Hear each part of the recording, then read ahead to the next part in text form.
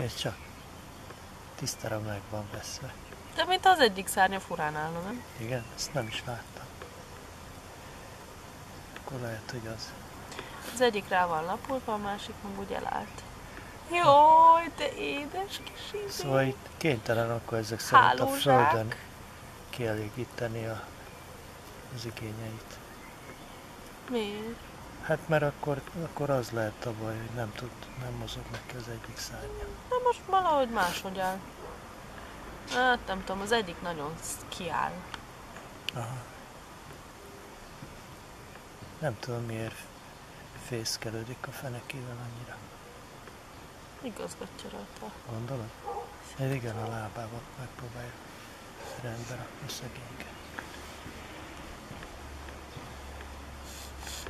Remélem el tud majd repülni. Na, akkor most Na, most szépen áll. Most megint elizélte. Szerintem az lehet, hogy a szárnyát tisztogatta. gondolod? Most szépen besimult. Aha.